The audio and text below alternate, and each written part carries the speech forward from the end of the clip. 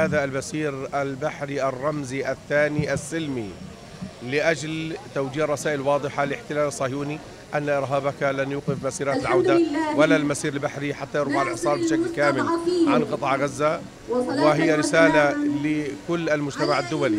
آن الأوان أن يرفع الحصار الظالم المخالف للقانون الدولي واللا أخلاقي عن شعبنا الفلسطيني.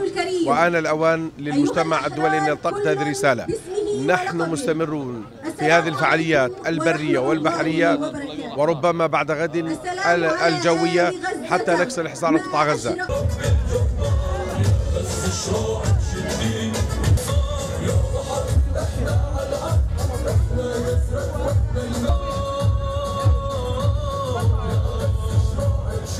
رسالة اليوم آه، سفينة الحرية رقم اثنين التي ستطلق مع مسير بحري رمزي يهدف إلى تسليط الضوء على استمرار معاناة المدنيين الفلسطينيين. 2 مليون مواطن فلسطيني يعيشون في قطاع غزة يعانون من آه، آثار جريمة آه، الحصار الإسرائيلي المفروض للعام الثاني عشر على التوالي والذي ترك تداعيات كارثية على مجمل حالة حقوق الإنسان.